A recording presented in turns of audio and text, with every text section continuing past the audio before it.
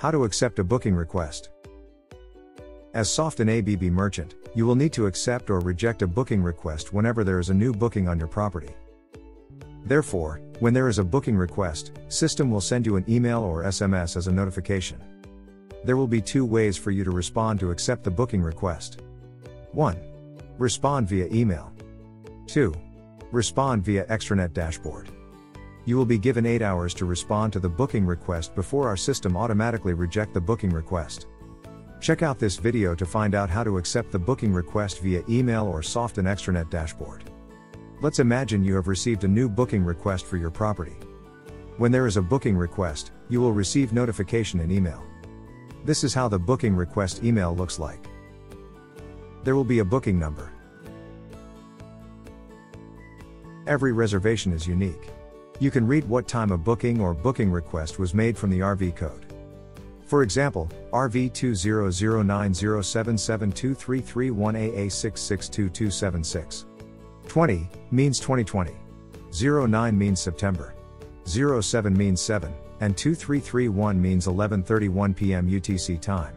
If converted to Malaysian time, it is 7:31 a.m. Malaysia time. You will be able to view the check-in and check-out date. Here, you can see the total amount for the booking request. Check that number of guests does not exceed your maximum of pax. To accept the booking request from email, click Accept button.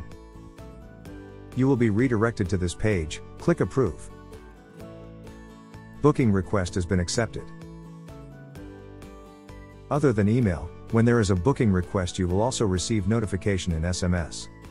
The SMS that you received will include check in and check out date with the total amount of booking. Click the link to accept the booking. Once you click the link, you will be redirected to Softinn Extranet dashboard. Log in to Softinn Extranet. Select the correct property. You will be able to view there is a pending booking request. To accept the booking request, click Accept button. Then, click Approve button.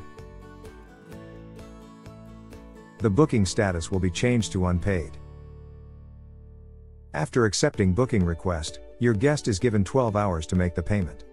Within this 12 hours, if your guest confirmed the booking by payment, you will receive a confirmed booking notification in both email and SMS.